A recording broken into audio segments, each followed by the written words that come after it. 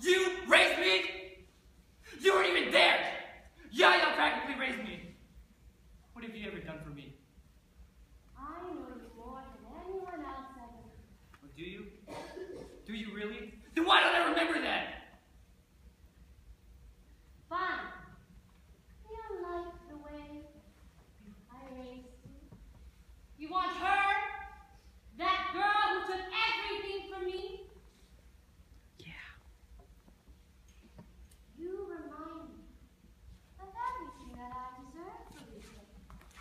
And I deserve this life!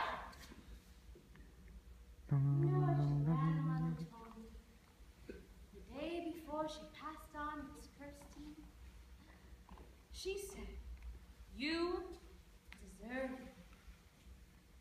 You deserve a life without family, without love, without friends, without anything! And so she gave everything to her. Mm -hmm so you can take her life.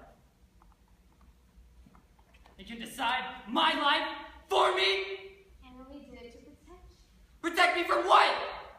From being myself? From having my own life? Protect me from what? Damn! Holy shit. He's got the dagger. He's got the dagger.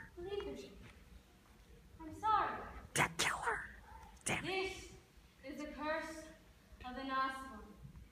I cannot control the demons that are inside me. Oh shit! Oh shit!